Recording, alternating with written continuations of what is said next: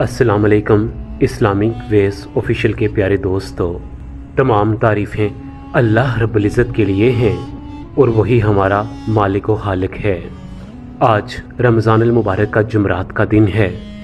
जैसे रमज़ान मुबारक को दूसरे महीनों के मुकाबले में ज़्यादा अहमियत और फजीलत हासिल है, इसी तरह जुमरात और जुमा ये दो दिन दूसरे दिनों के मुकाबले में ज़्यादा अहमियत और फजीलत रखते हैं। एक हदीस पाक का मफहम है कि जुमरात का दिन ऐसा दिन होता है जिसमें बंदे के नामा या माल अल्लाह रबुल्ज़त की बारगाह में पेश किए जाते हैं। और जुमत मुबारक की फजीलत के बारे में तो आप बाखूबी आगाह हैं कि इस दिन दुआएँ आम दिनों के मुकाबले में जल्द अल्लाह रबुल्ज़त की बारगाह में कबूल होती हैं। इस्लामिक वेस ऑफिशियल के प्यारे दोस्तों, हमारा रमज़ान मुबारक के पहले दिन से आपसे यही वादा था कि हम आपकी खिदमत में रमज़ान मुबारक के हवाले से ऐसे ऐसे खूबसूरत, ज़बरदस्त, ताकतवर और अजीम वजीफ़े लेकर हाजिर होंगे कि जिन वज़ाइफ को आप रमज़ान मुबारक में दिन हो या रात जब भी आपको वक्त मिले, चलते फिरते, उठते बैठते इन वज़ाइफ को कर लें। यकीन जाने कि इन वज़ाइफ से आपको हैरान कन मौजात देखने को मिलेंगे। इन तमाम वजीफ़ों में, जिसे मैं वजीफ़ों का बादशाह कहूँगा यानी कि एक ऐसा खूबसूरत वजीफ़ा जो कि आपकी किस्मत को बदल कर रख दे। वो वजीफ़ा है, ला इलाहा इल्लल्लाह। प्यारे नाजिन रमज़ान मुबारक में जुमरात और जुमा इन दो दिनों में अगर ला इलाहा इल्लल्लाह को सौ मरतबा पढ़ लिया जाए तो अल्लाह रब्ज़त बंदे को किन किन इनामात से नवाजते हैं, ये जानकर आप बहुत ज़्यादा खुशी महसूस करेंगे। और इन ये वीडियो पूरी देखने के बाद आप जुमरात और जुमा क्या बल्कि रमज़ान मुबारक में जितने दिन भी बकाया हैं, इन तमाम दिनों में आप रोज़ाना की बुनियाद पर ला इलाहा पढ़ना शुरू हो जाएँगे। प्यारे नजीन चूँकि जुमरात और जुमा आज का खूबसूरत वजीफ़ा दो दिनों पर मुश्तमिल है, लिहाजा आइए इन खूबसूरत दिनों के बदले हम आज का वजीफ़ा दरूद पाक से शुरू करते हैं। आप भी मेरे साथ मिलकर दरूद इब्राहिमी पढ़ें और उसके बाद हम आज के खूबसूरत वजीफ़े का आगाज़ शुरू करेंगे। बिसमीम अल्लाहुम्मा सल्ला मुहम्मद वला आली मुहम्मद, कमा सल्लैता अला इब्राहीमा व अला आली इब्राहीमा, इन्नका हमीदुम मजीद। अल्लाहुम्मा बारिक अला मुहम्मद वला आली मुहम्मद, कमा बारकता अला इब्राहीमा व अला आली इब्राहीमा, इन्नका हमीदुम मजीद। प्यारे नाजिन ला इलाहा इल्लल्लाह पढ़ने की बहुत सारी फजीलतें हैं। और इन कलमात का अल्लाह रब्ज़त की बारगाह में भी एक ख़ास मकाम है। इसका सबसे पहला और ख़ूबसूरत फ़ायदा ये है कि जो शख्स सच्चे दिल के साथ एक मरतबा ज़िंदगी में ला इल्लल्लाह मोहम्मद रसूलुल्लाह पढ़ लेगा, वो शख्स जन्नत में लाजमी जाएगा। एक हदीस पाका मफहम है कि सल्लल्लाहु अलैहि वसल्लम ने इरशाद फरमाया कि क़यामत के रोज़ अल्लाह रब्ज़त मेरे एक उमती का हिसाब लेगा। उसके सामने उसके गुनाहों के निन्यानवे रजिस्टर खोल कर रख देगा। और बुजुर्गान दिन फरमाते हैं कि उन रजिस्टरों का साइज़ इतना बड़ा होगा कि जहाँ तक इंसान की नज़र जाती है, वहाँ तक उनका साइज़ होगा। फिर रसूल अलैहि वसल्लम ने इरशाद फरमाया कि अल्लाह रब्ज़त मेरे उस उमती से पूछेगा कि क्या तुम इन गुनाहों का इतराफ़ करते हो? वो उमती कहेगा, नहीं मेरे रब, ये रजिस्टर बिल्कुल ठीक हैं। फिर अल्लाह रब्ज़त उस उम्मती से पूछेगा कि क्या तुमने कोई ऐसी नेकी की है जिसके बदले तुम्हें जन्नत मिल जाए? वो उमती कहेगा, नहीं मेरे रब, मैं बहुत गुनहकार हूँ। फिर अल्लाह रब्ज़त इरशाद फरमाएगा कि, ए बंदे, हमारे पास तुम्हारी एक नेकी है। बिला बिलाशुबा आज तुम पर कोई जुल्म नहीं होगा।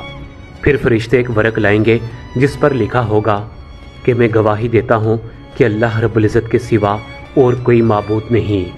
और मैं गवाही देता हूँ कि मोहम्मद रसूल सल्लल्लाहु अलैहि वसल्लम, उसके बंदे और उसके रसूल हैं फिर अल्लाह रब्ज़त फरिश्तों को हुक्म देगा कि इस कागज़ के टुकड़े को मेज़ान के दूसरे पलड़े में डाल दिया जाए और मेज़ान के एक पलड़े में इसके तमाम गुनाहों के रजिस्टर रख दिए जाएँ।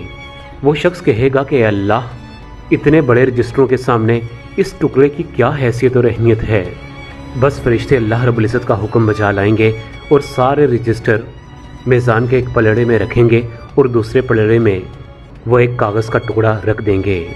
देखते ही देखते मेज़ान का वो पलड़ा, जिस पर कागज़ का टुकड़ा होगा, वो बारी हो जाएगा और जिस पर रजिस्टरों के ढेर लगे होंगे, वो पलड़ा हल्का हो जाएगा। इसलिए कि अल्लाह रब्ज़त के नाम के बराबर दुनिया में कोई चीज़ बारी नहीं हो सकती। मुस्लिम शरीफ की एक रवायत है कि एक मरतबा हज़रत मूसा सलाम अल्लाह रब्ज़त के मुलाकात के वास्ते गए और कहने लगे कि अल्लाह पाक, आज तो मुझे कोई ऐसे कलमात सिखा दे जिनको सिर्फ़ मैं पढ़ सकूँ और उनको पढ़ने के बाद मैं तुझसे दुआएँ मांगूं और मेरी दुआ फ़ौरन तुम्हारी बारगाह में कबूल मंजूर हो जाए। अल्लाह रब्ज़त ने जवाब दिया, ए मूसा पढ़। ला इलाहा इल्लल्लाह। सुनकर मूसा सलाम बड़े हैरान हुए और कहने लगे कि अल्लाह रब्ज़त ये कलमात तो तुम्हारे सब बंदे पढ़ते हैं। मैं तो तुमसे कोई स्पेशल कलमात जानना चाहता हूँ कि जो सिर्फ़ मेरे सिवा और कोई ना जाने। अल्लाह रब्ज़त ने इरशाद फरमाया, कि ए मूसा, क्या तुम इन कलमात को मामूली समझते हो? मेरे इज़्ज़त व जलाल की कसम, अगर एक पलड़े में सातों आसमान और सातों ज़मीनें रख दी जाएँ, और दूसरे पलड़े में सिर्फ़ और सिर्फ़ ला इलाहा इल्लल्लाह रख दिया जाए तो ला इलाहा इल्लल्लाह का पलड़ा बारी हो जाएगा। बस तुम्हें जब भी कोई तंगी, परेशानी, मुसीबत, रंज गम पेश आ जाए, तुम ला इलाहा पढ़कर मुझसे मदद तलब किया करो, मैं फ़ौरन तुम्हारी मदद को आ जाऊँगा।